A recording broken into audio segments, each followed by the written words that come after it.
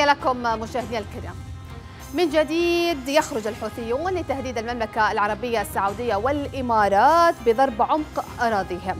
وأيضا يتباهون بقدرتهم العسكرية وقدرة طائراتهم المسيرة والصواريخ البالستية على ضرب 300 أو أكثر من 300 هدف عسكري في البلدين. فهل فعلا مشاهدينا الكرام يستطيع الحوثيون ضرب عمق المملكة العربية السعودية وكذلك الإمارات أم أنها مجرد بروباغندا إعلامية تقوم بها الميليشيات في الوقت الراهن؟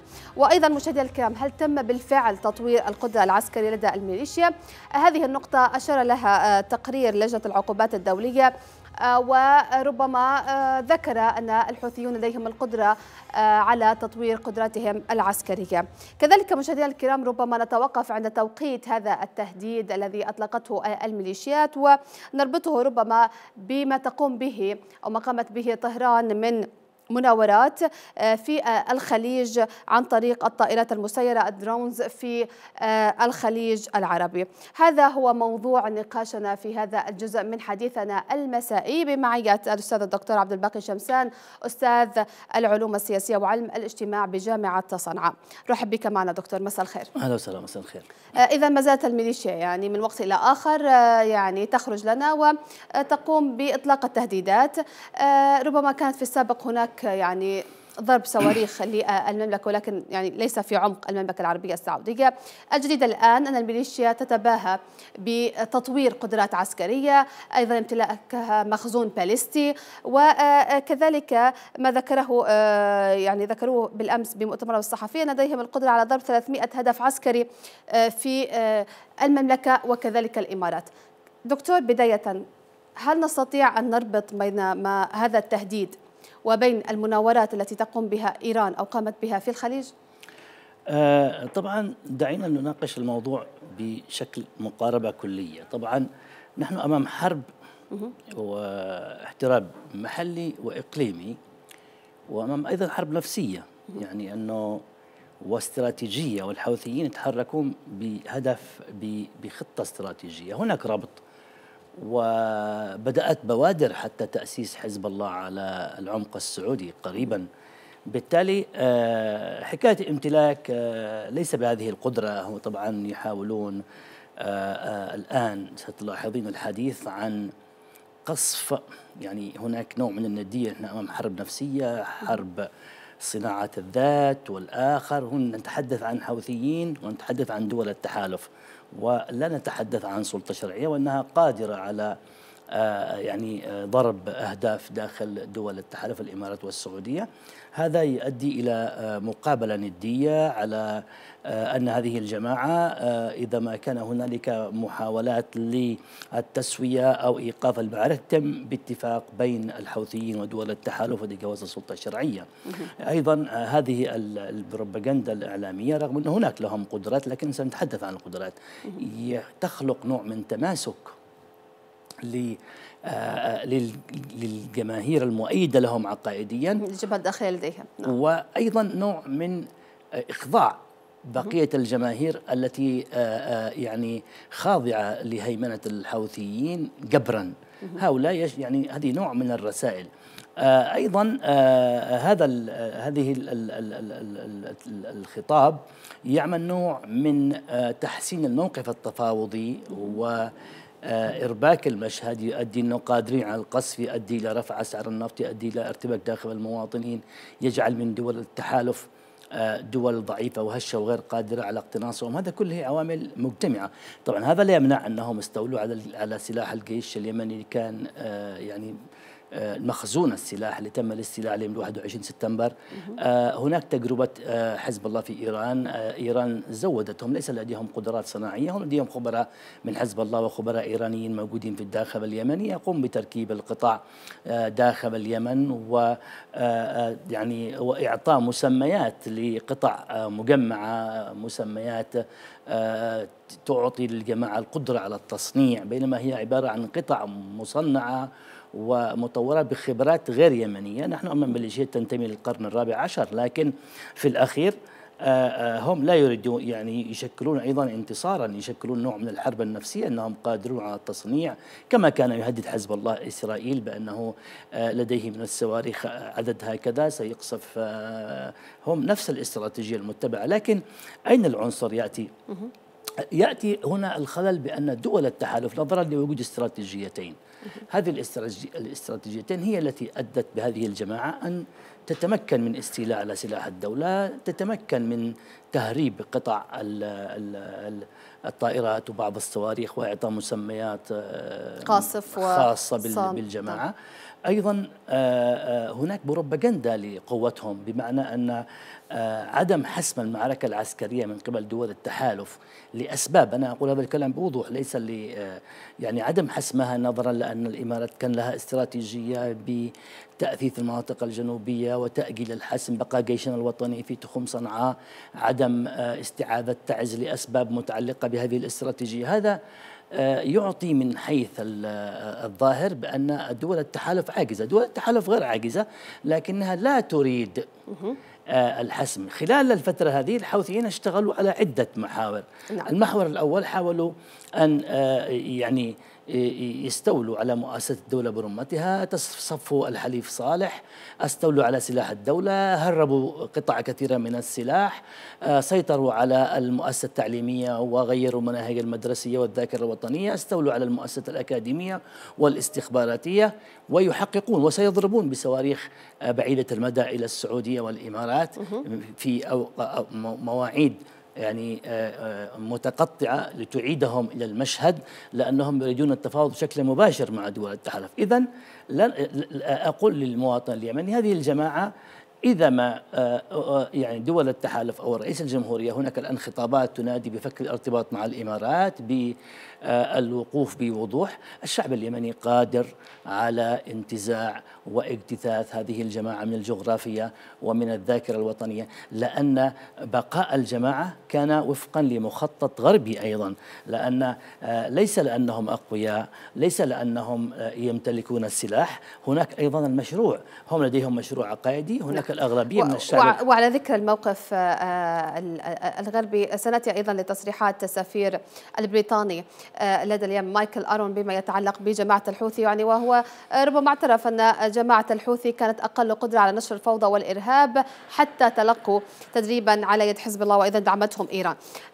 ينضم معنا الآن سيادة اللواء مستور الأحمر الخبير العسكري والاستراتيجي آه، من الرياض. نرحب بك سيادة اللواء معنا. مساء الخير.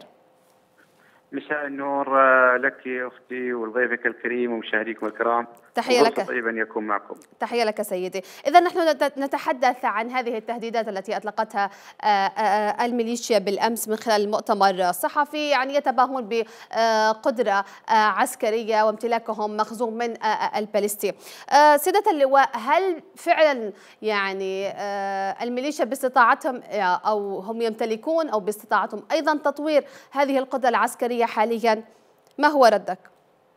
أه اولا بالنسبة لمثل هذه التصريحات عادة آه، لكل طرف آه، في الصراعات آه، الحق إنه يعني يصرح بما يرى إنه من مصلحته. الحوثيين يصرحون بهذه التصريحات رفع من معنويات المؤيدين لإثبات الوجود، إحنا نعرف إنه أطلقوا على السعودية أكثر من 200 صاروخ لم يصل منها صاروخ واحد إلى هدفه. جميعها دمرت قبل وصولها. طيب آه أليس مجرد أليس مجرد الإطلاق أيضا يعتبر ربما إنجاز ثلاث خمس سنوات سدة اللواء ويعني التحالف يعني يضرب آه القدرة العسكرية للميليشيات ولكن إلى الآن يعني لم يتمكن من يعني آه, آه، إبطال هذه القدرة العسكرية بحيث أنها إلى الآن قادرة على إطلاق صواريخ؟ آه، أعطيني فرصة لو تكرمتي. تفضل. آه، أنا معك أنه طول هذا الفترة إحنا رأينا أنه خلال الستة أشهر الأخيرة تقلصت عدد الصواريخ اللي يتم إطلاقها نعم آه، إحنا عارفين أنه قبل فترة تم استهداف آه، في صنعاء أماكن لتجهيز هذه الصواريخ وأماكن لورش عن منصات الإطلاق نعم. وأماكن لإعادة تصنيع أو إعادة تركيب الطائرات بدون طيار نعم. خلال هذا الفترة طبعا هم يطلقون من الصواريخ ولكنها لم تصل إلى أهدافها يتم تدميرها نعم.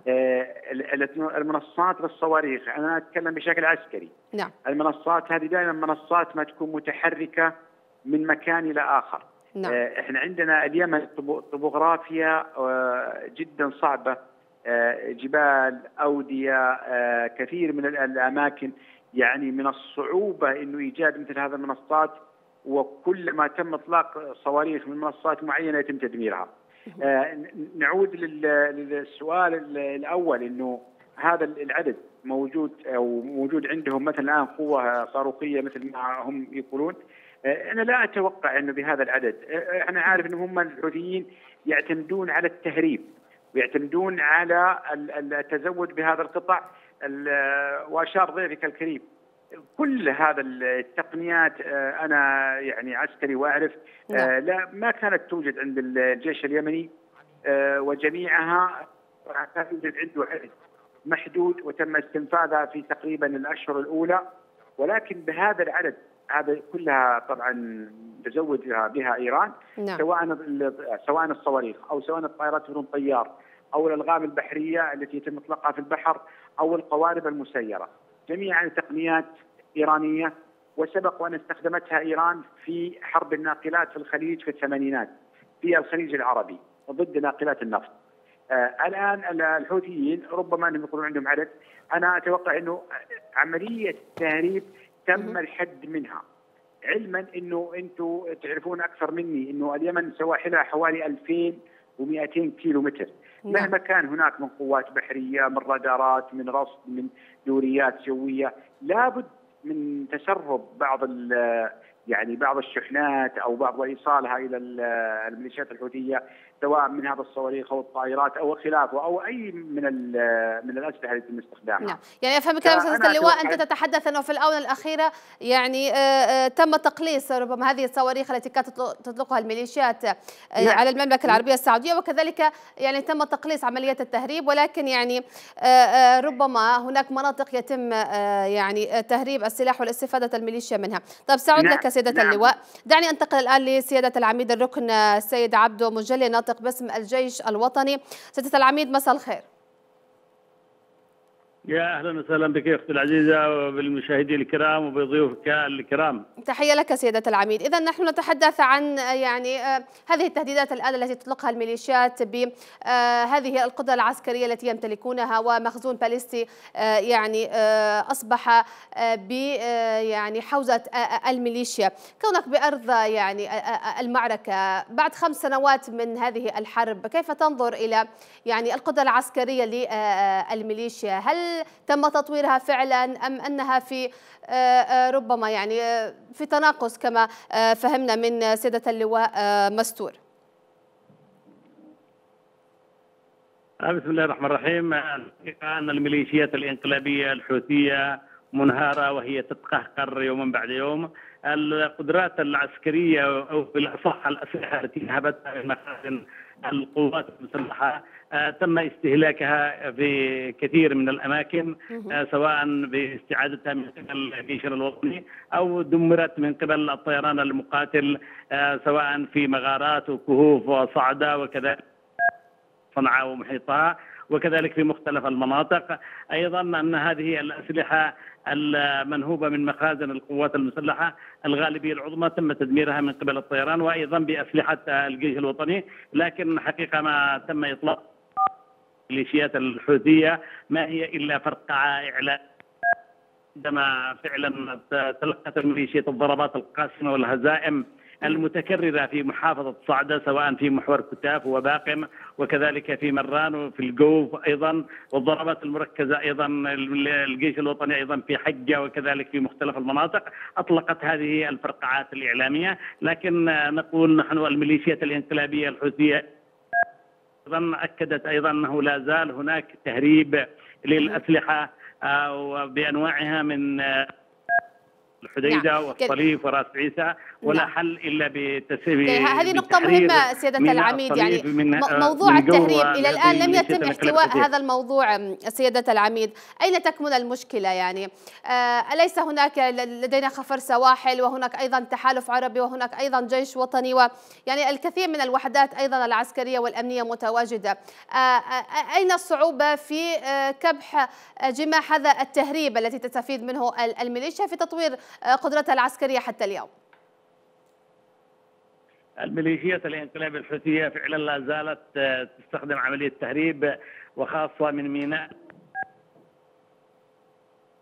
آه، نحن في اتفاق السويد الذي أجمع الحكومة مع الميليشيات الانقلابية الحوثية برعاية الأمم المتحدة على أن تقوم هذه الميليشيات الانقلابية بالرحيل عن ميناء الحديده والصليف راس عيسى. لكن تلك الميليشيات الانقلابية رمت بتلك الاتفاقات والمبادرات عرض الحائط. هذه يعني الميليشيات فقط هذا المنفذ الوحيد الذي عن طريقه تستفيد منه الميليشيا يعني جميع المنافذ سواء البرية والبحرية مؤمنة لا يتم تهريب شيء للميليشيا؟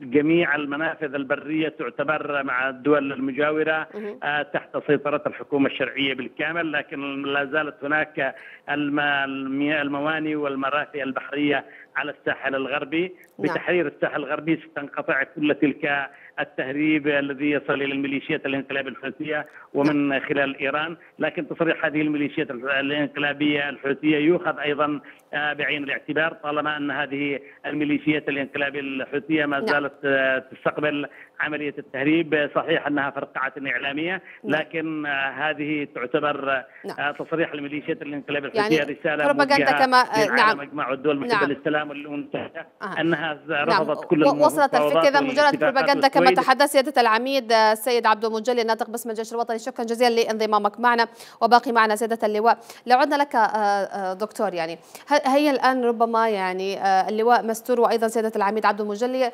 ربما هذه النقطة نقطة التهريب هي فقط ما تستفيد منه الميليشيا. هناك تحجيم لقدره الميليشيا العسكرية من خلال ما تقوم به يعني يقوم به التحالف حتى اليوم. يعني لهم خطابهم. أنا أقول إنه آه، يعني الحديث ينبغي أن يكون عقلاني لأننا أمام احتراب. آه، تدمير آه، كل ما لديهم هذا محل شك لأنه هذه الجماعة مستمرة لمدة أربع سنوات في مواجهة تحالف دولي وبالتالي لم تستطيع دول التحالف من ومن إضعاف الحوثيين.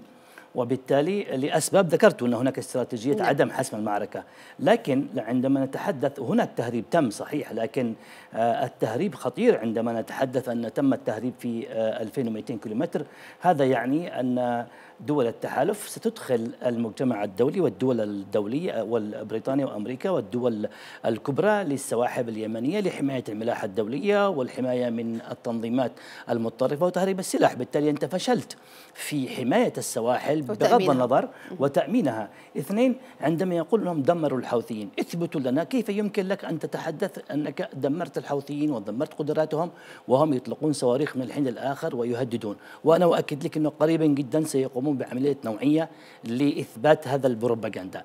ثالثا عندما تقنعني ان أنهم آه، آه، مدمرين وهو آه، يعني هم يحققون سلطة واقعية موجودين أنت لم تدعم الجيش الوطني يتقدم لم تحسم معركة من أربع سنوات وكأن هذا الحوثيين جعلوا منهم يعني دولة عظمى بينما هم مجموعة من ميليشيات مدعومه من إيران. اثنين أنا لا أنا لا أخشى من من امتلاك الحوثيين الأسلحة لأن هناك باتريوت وهناك يعني ممكن آه، منظومة صاروخية تقوم بتدمير الصواريخ.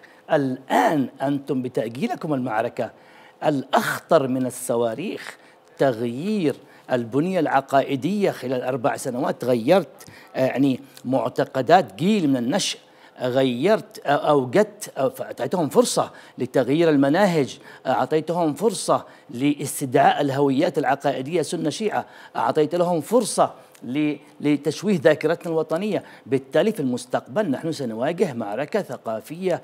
أصبح هناك الآن جيل لا يؤمن بالجمهورية. أصبح عنده شرعية الحاكم مرتبطة بالولي آه، الفقيه مرتبطة بأن آه، بعبد الملك بعبد الملك الحوثي بهذه السلالة. آه، بالتالي هذه إطالة المعركة أخطر بكثير من الصواريخ. الصواريخ يمكن مواجهتها عسكريا وأنتم لم تحسموها. نعم. لم يحسموها عسكريا وهم قادرين على حسم المعركة عسكريا قادرين على آه، إيقاف الصواريخ. لكن في الأخير أنت تمنحهم فرصة ويثبتوا للعالم أنهم قوة.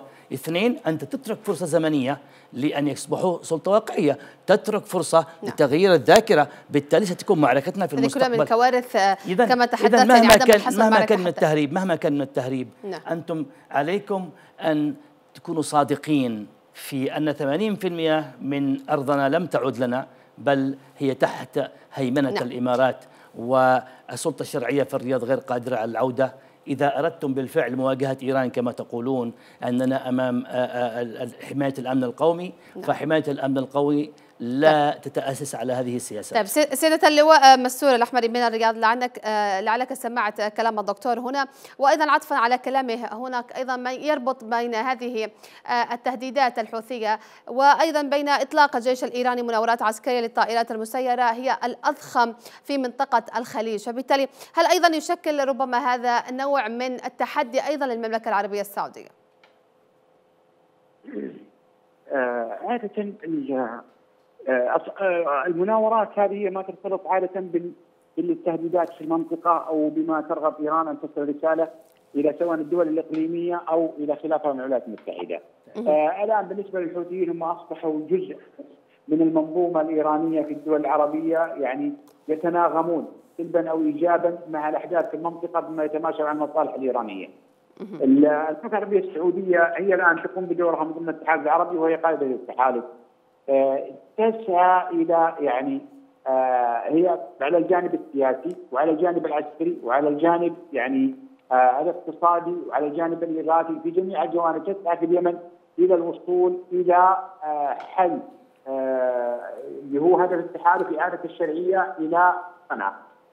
التساؤل اللي أنا تقريبا أطرحه أو التساؤل اللي أنا يعني إحنا الآن عندنا قوات الشرعية لاننا أربع سنوات تقريبا هناك قوات مدربة على الأرض، هناك قوات تعرف الأرض، هناك قوات يعني بعدد كبير.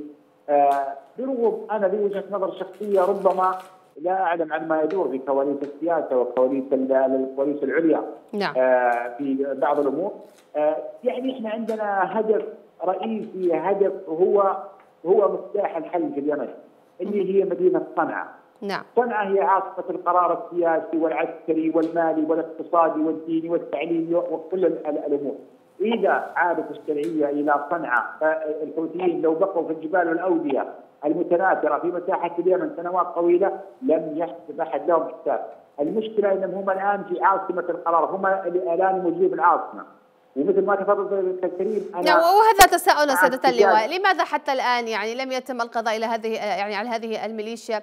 يعني لماذا يتم يعني تضخيم قدرتها العسكرية؟ وبالتالي يعني التحالف يمتلكون يعني ربما كانوا قادرين على حسم المعركة في أول أشهر آه، من هذه الحرب ولكن تم إطالة أمد الحرب ويعني أيضا دخل على يعني على على المشهد أيضا لاعبين دوليين الآن كما تحت يعني كما ترى وأيضا تم توقيف الان معركة الحديدة وتعرف ما يجري الآن الآن في آه، آه، آه، الحديدة. فهذا سؤالنا الكبير لماذا لم يعني تحسم المعركة في وقت مبكر؟ سيدة اللواء. أنا أتوقع أنه كان أمام الجميع فرصة في الستة أشهر الأولى نعم. في حسم المعركة لو تم الاتجاه إلى مثل طبعا ما تم تحديد العدد اللي هو الحديدة وصنعاء نعم. ولكن لا نعلم عن ما يدور في الكواليس العليا المعركة أصبحت متناثرة في أجزاء كثيرة من صعدة إلى أكتاف إلى نهم نعم. إلى تعز إلى إلى أمارب إلى كثير من من المدن والقرى الأخرى نعم. ولكنه الهدف الرئيسي من الحل اولا صنعاء الشرعية يجب أن تكون على أرض الوطن، يجب أن تكون متواجدة ما بين المواطن والعسكري والجميع يعرف يعمل إنه نعم. آه، حكومته أو مسؤوليه متواجدين معه في نفس المكان، هذه وجهة نظر. نعم. آه الشيء الآخر إنه أنا يعني ربما لو يتم التوقف الآن يعني ودراسة المرحلة السابقة الاخطاء والإيجابيات والسلبيات وعمل يعني والبناء للمستقبل أو الخطة سواء خطه عسكرية نعم. سياسية اقتصادية آه، يعني التوقف مهم في هذه المرحلة باعاده تقييم الوضع بكامله والتعامل مع الحقائق والوقائع الجديدة على الأرض. الحديد الان الامم المتحدة موجودة نتمنى الا يعني يستمر التوقف كثيرا يعني ويؤثر أيضا على سعر يعني الأشياء التي تم تحقيقها آه، في آه، السابق اشكر شكرا جزيلا الخبير العسكري والاستراتيجي اللواء مسور الأحمري. شكرا جزيلا لانضمامك معنا من الرياض. لديك تعليق دكتور نريد أن ننتقل للمحور الثاني في حلقتنا عن تعز. تفضل.